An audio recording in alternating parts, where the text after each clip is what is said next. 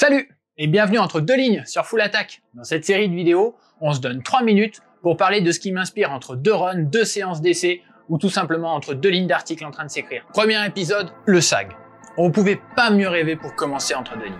C'est parti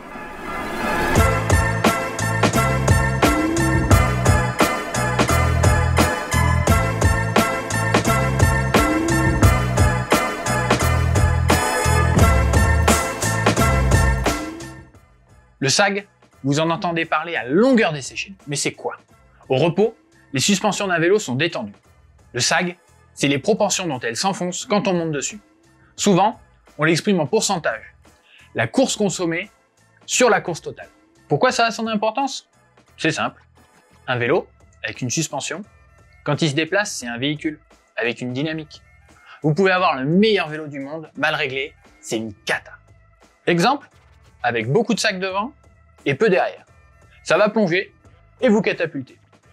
À l'inverse, avec beaucoup de sacs derrière, ça va se tasser et ça va devenir compliqué à piloter. Bref, entre les deux, il y a un bon équilibre à trouver. Chez Full Attack, on commence systématiquement les essais avec 30% devant, derrière. Ça ne veut pas dire que le vélo doit fonctionner absolument comme ça. Mais pour nous, c'est le point de départ de tout le protocole qu'on applique à chaque vélo. C'est ce qui nous permet ensuite de comprendre comment chacun fonctionne. Et par expérience, c'est devenu un bon point de départ à conseiller. Sans tomber dans des extrêmes, on peut jouer des sags. Globalement, plus il y en a, plus c'est confort, moins il y en a, plus c'est dynamique. Et si on instaure un décalage entre l'avant et l'arrière, on peut jouer sur l'assiette du vélo. Bon, ça on pourra en parler des heures. Le mieux, c'est de se référer à ce qu'on en dit dans le verdict d'essai propre à chaque vélo. Dans tous les cas, l'important si vous voulez en jouer, c'est d'avoir une bonne méthode pour faire ces sags.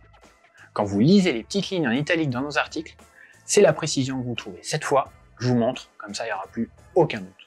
Bien sûr, on se met en tenue de vélo.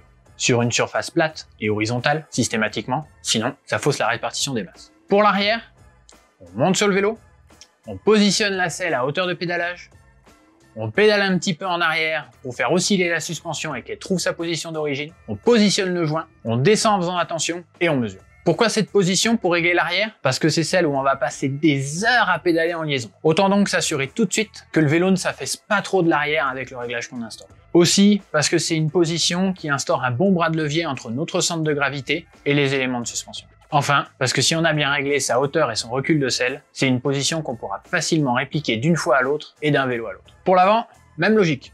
On cherche la position dans laquelle on sollicite suffisamment la suspension. Pour nous, en mountain, enduro, descente, c'est quand on pilote et qu'on engage que ça compte, qu'il faut du maintien et qu'il faut une suspension qui marche. Donc debout, bras tendus, en appui sur le cintre, épaule à l'aplomb de la potence. On fait osciller jusqu'à trouver la position d'équilibre et au passage, si ça gratte un peu, c'est là qu'on s'en rend compte. On positionne le joint, on relâche en s'asseyant, on descend et on mesure. Voilà, ça c'est notre méthode. Si vous lisez des valeurs de sag chez Full Attack, elles proviennent forcément de cette manière de procéder avec ces positions. On la partage pour plusieurs raisons. En premier, pour que vous sachiez comment les valeurs sont obtenues et donc comment les interpréter et les comparer si besoin.